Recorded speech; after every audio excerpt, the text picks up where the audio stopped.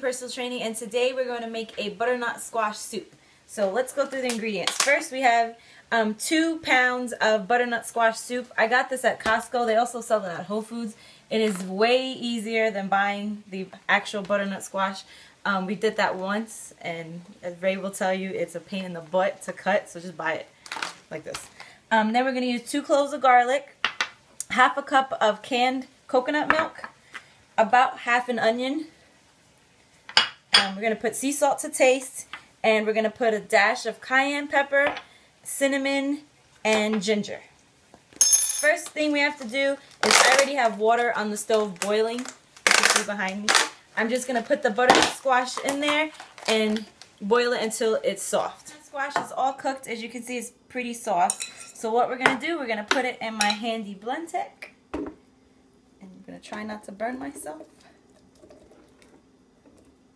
Very klutzy cook if you haven't figured out. See, there you go. Okay. keep putting that in there. It's okay if a little bit of water gets in there. Alright, so I'm going to blend this up before we put any of the other ingredients in.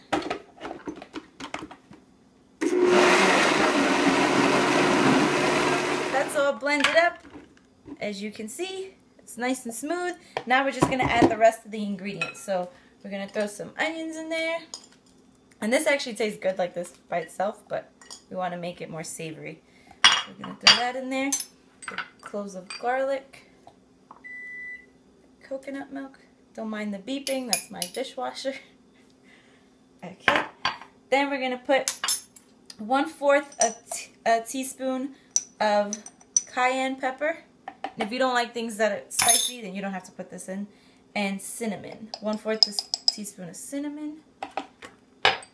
And we're just going to put a little bit of ginger. Not too much. Ginger is pretty powerful, so you don't want to put too much because then you can't take it out. And then we're going to put a pinch of salt. And we're going to blend that all up again.